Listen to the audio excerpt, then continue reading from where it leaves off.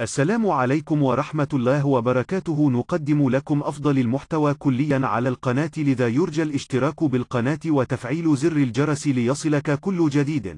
مشروع ملعب الميناء الأولمبي. استمرار الأعمال في ملعب الميناء الأولمبي الذي يتسع ل 30 ألف متفرج حيث أن العمل مستمر في كافة الفقرات. وصلت نسب الأنجاز ل 98% من المقدر افتتاح الملعب خلال شهرين أو شهر. يعتبر الملعب واجة رئيسية لبطولة كأس الخليج المقدر إقامتها في العراق في بداية العام المقبل.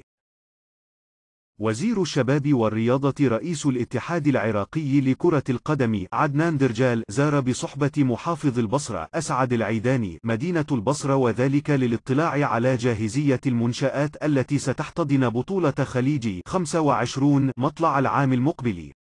وتفقد درجال ملعب جذع النخلة بالمدينة الرياضية الذي يتسع لأكثر من 65 ألف متفرج وملعب الفيحاء الذي يتسع لنحو 10 آلاف متفرج وكذلك ملعب الميناء الأولمبي سعة 30 ألف متفرج كما تمت زيارة الشقق الفندقية المخصصة للضيوف القادمين لحضور بطولة خليجي 25 اشتراك بالقناة وتفعيل زر الجرس ليصلك كل جديد.